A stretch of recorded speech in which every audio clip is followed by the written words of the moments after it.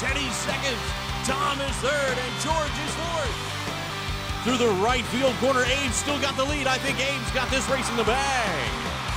Wait, it's that cat! He took out Abe. Oh!